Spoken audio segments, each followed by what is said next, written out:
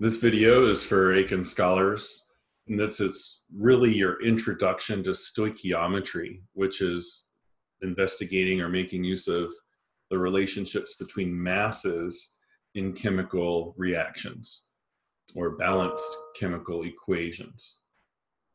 And um, what I want to show you right now at the start of the video is the mole map, and there's a copy of this in your OneNote class notebooks.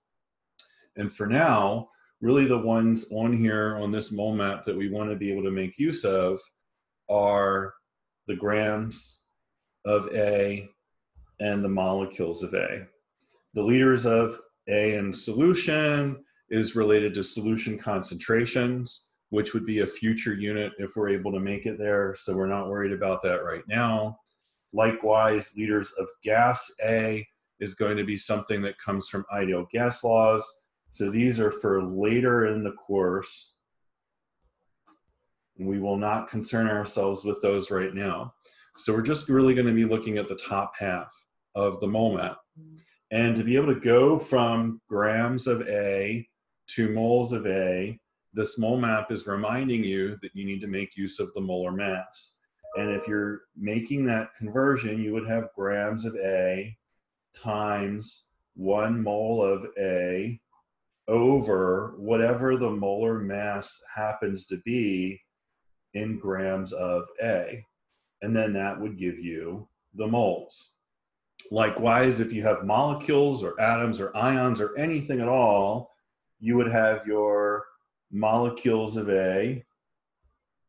And remember, you cannot abbreviate molecules as MOLE because that would be mole you can also not abbreviate molecules as MOL because that is also already the abbreviation for mole.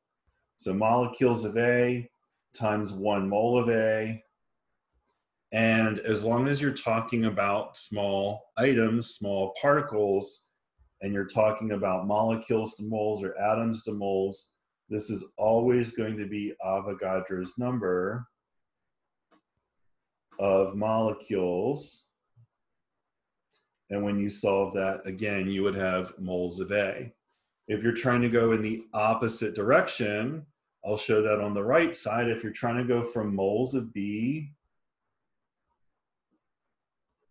to grams of B, then you would use the molar mass in grams for one mole of B.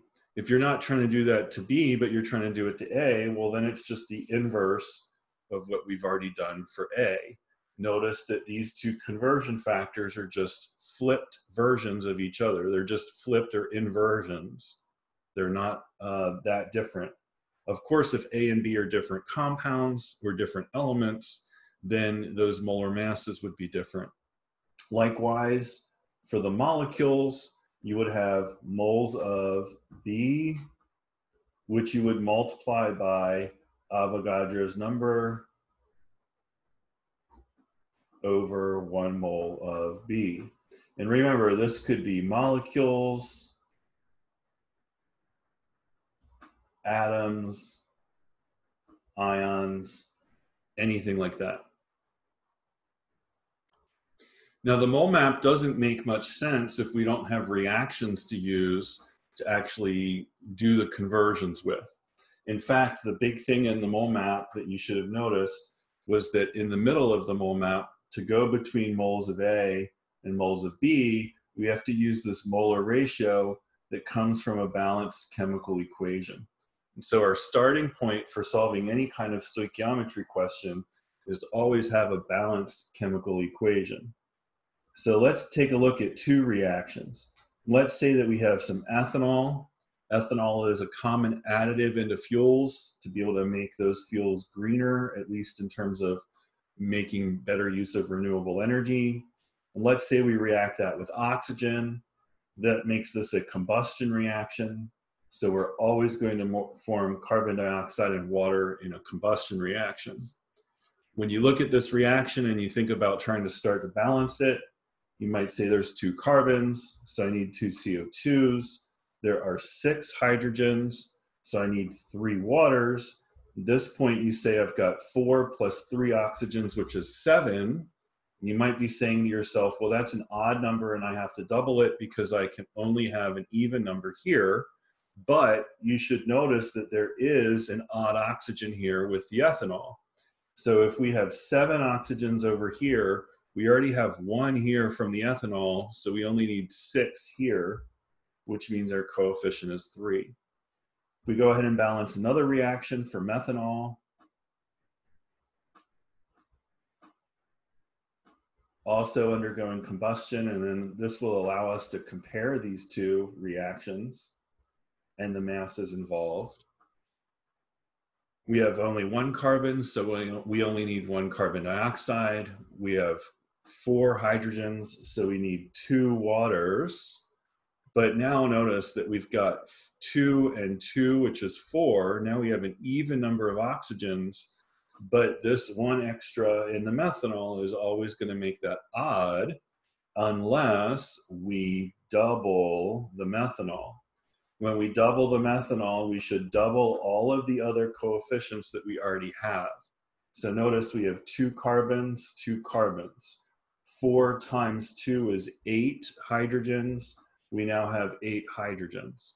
We now also have four and four oxygens, which is eight we already have two here from the two methanols, so we only need six more coming in from the air, from the gas. So with each of these reactions, let's say that we've got 10 grams of fuel and want to know how much CO2 in grams will each fuel produce. And so we can use our mole map as a guide. So we are going to have either grams of methanol or grams of ethanol. When we have grams of methanol or grams of ethanol, we need to find moles of ethanol or methanol. We then need to use our molar ratio from our balanced chemical equation to convert from our ethanol or methanol into carbon dioxide, and then we need to use the molar mass of carbon dioxide to get grams of carbon dioxide. So in the beginning here, we're definitely going to need to know the molar mass of carbon dioxide, of methanol, and of ethanol. And so you could again do your little tables where there's one carbon, two oxygens, 12.01 grams per mole for carbon, 16.00 grams per mole for oxygen, multiply across, and add to find our molar mass. I didn't leave a lot of space here because we're not trying to find mass percents, we just want the molar masses. You can also, if you've got the hang of this, you can just kind of jot down notes for yourself kind of like we did with the electron counts. You don't have to show a whole table here, but you do need to be able to keep this straight in your head when you're adding things up. So methanol then is 32.05 grams per mole. And I might as well do the table for the ethanol.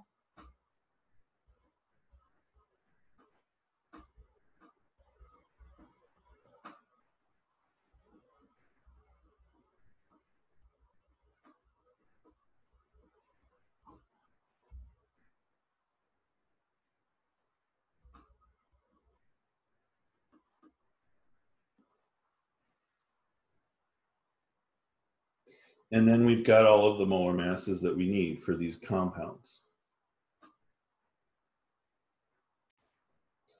I did catch a little mistake here.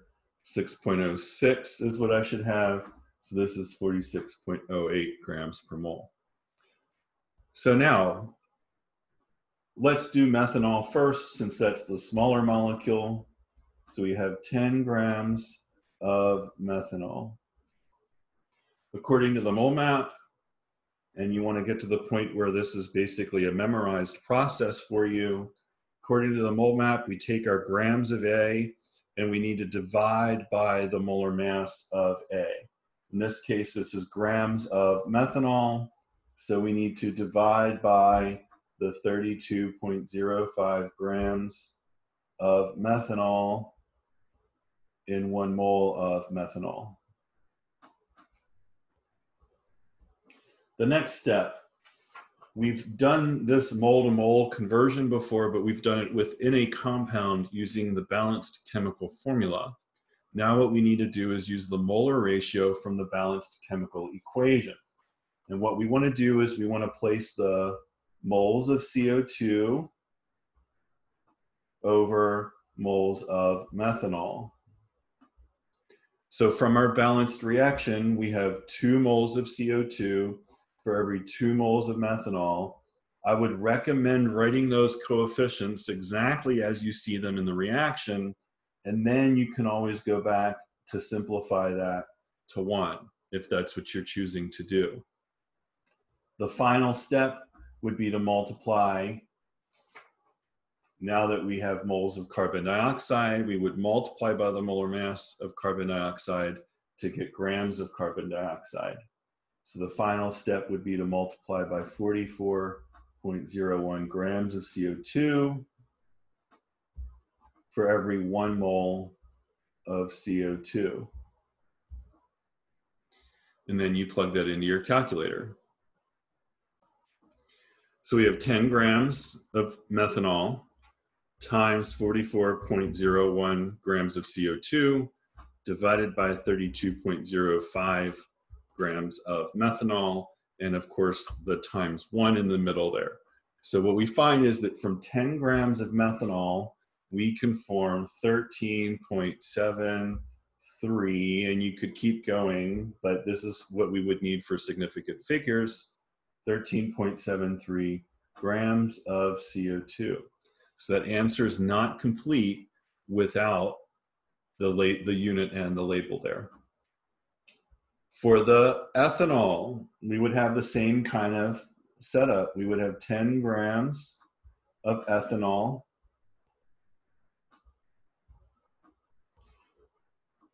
where we end up converting to moles of methanol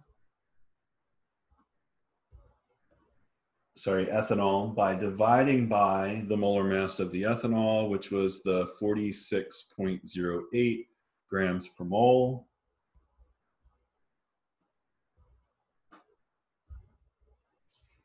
And then we convert to moles of CO2 from moles of ethanol. And in our balanced reaction, we see that we have two moles of CO2 for every one mole of ethanol.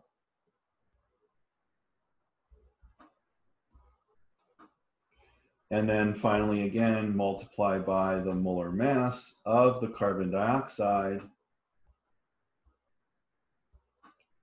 to find our answer.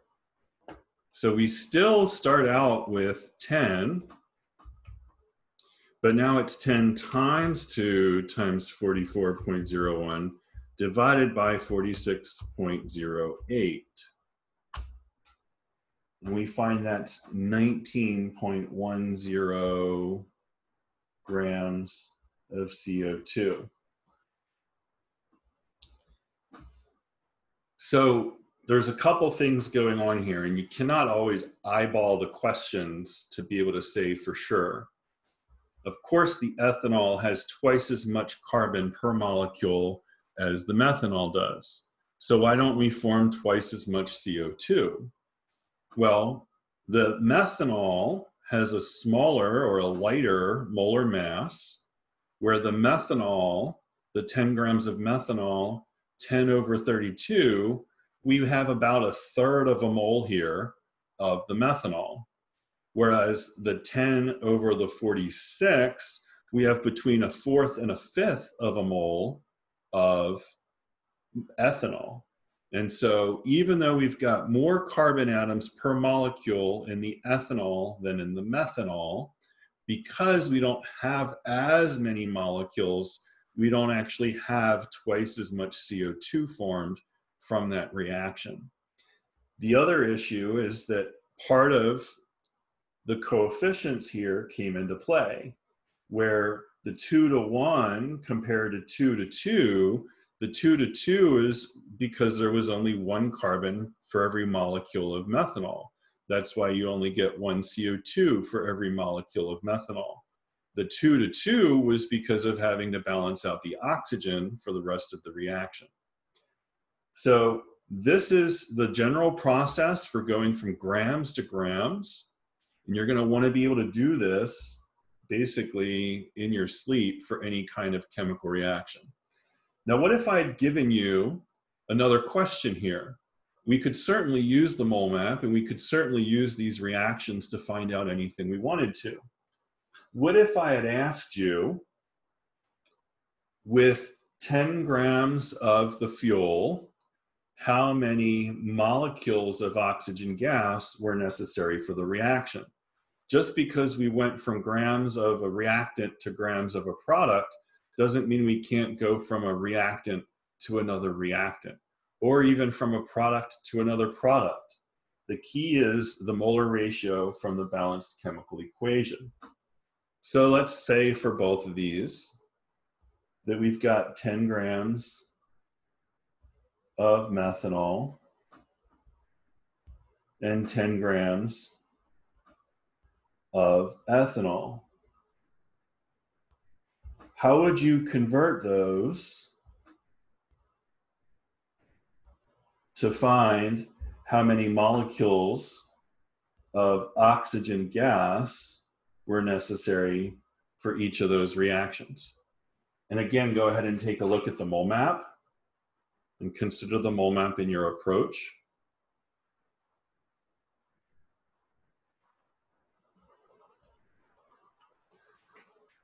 So how many molecules of oxygen gas are needed for each of these 10 grams of fuel? Last chance to pause. And the answer is about three times 10 to the 23rd molecules of oxygen for the methanol and about four times 10 to the 23rd molecules of oxygen for the ethanol. The reason why or how you can estimate these is that, again, we have about a third of a mole of the methanol. So we should have about a third of this many molecules, which would be two times 10 to the 23rd. But that two is then times three halves. So again, we should have close to three. It's a little bit less than three because this was a little bit less than a third. Down here, we've got 10 over 46, which again is, let's say, a, a fourth. A fourth of this would be 1.5. A fifth of this would be 1.2. 1.2 times 3 gives us 3.6. 1.5 times 3 gives us 4.5. So we should be somewhere between 3.6 and 4.5 times 10 to the 23rd molecules of oxygen. Notice that in this case, again, we've got fewer moles of the ethanol, but because the ethanol overall has more atoms in it to react with oxygen, it takes more oxygen in the long run for this reaction. But again, you can't just eyeball the numbers and say, oh, this one's always going to take less oxygen or make less CO2, because sometimes the mass might be different enough where even though it's a smaller molecule, you might make more of that particular product you're trying to find. All of these conversions, being able to go from grams to moles, moles to molecules, moles to grams, all of these are key for being able to look at uh, amounts in chemical reactions. And the next topic is going to deal more with um, using these conversions and some extra practice with these conversions as we look at something called empirical and molecular formulas.